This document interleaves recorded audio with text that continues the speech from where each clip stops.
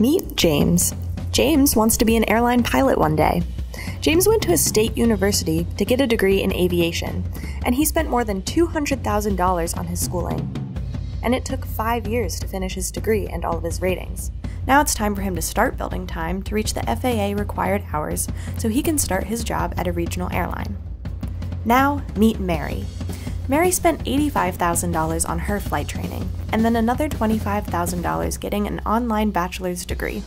After transferring all of her credits from her flight training, this only took two to three years. Meanwhile, after five years, James is only just finishing his program, and Mary has already become a captain at her regional airline that her flight school was partnered with. In a few short years, she'll be on her way to the majors. How did this happen? There are many options when considering what path you want to take to reach a career as an airline pilot. If you're going to be a pilot at a major airline, you need a degree and multiple certificates.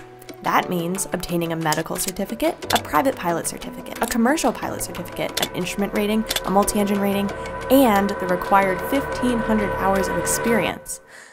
All of this might be a little overwhelming. But I think it helps if you keep three things in mind when choosing which path is for you seniority, cost, and airline partnerships.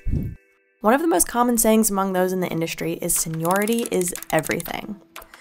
But when they say seniority, what they really mean is time. The less time you spend on your training, the sooner you will get an airline job and the lower your seniority number. And at the regionals, the lower your seniority number, the quicker you can become captain. They also take precedence in flow through programs existing between regionals and their partners at the majors.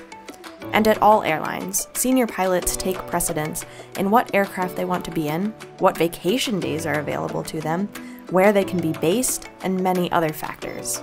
Seniority is everything. But what about cost? Well, flight training is expensive. Really expensive.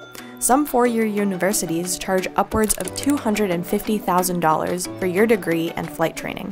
You could be spending the first decade of your career paying off your student loans, so it makes sense to find the most cost effective path.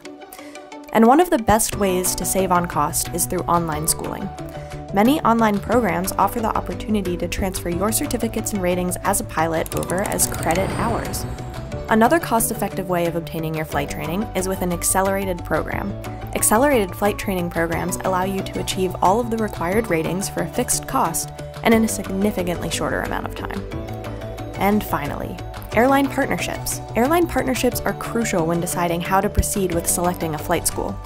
Regional airlines select schools based on past student successes and formed partnerships in which the airlines engage with students on a frequent basis throughout their training.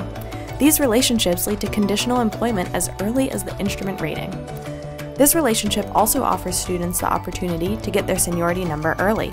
Some cadet programs will assign students their seniority number while they are flight instructing, allowing you to essentially count your time instructing as time working with the airline. So, whenever you feel overwhelmed about which option is best for you, keep these three points in mind. Attending a flight school and finishing your degree online allows you to get the required pilot ratings, a degree, and can help you get a job at the airlines in as little as two years. And all of this for as little as $120,000. Accelerated flight training saves you time, saves you money, and gives you opportunities you won't find anywhere else. If you're interested in an accelerated flight school, make sure to check out Thrust Flight's Zero to Airline program at www.thrustflight.com.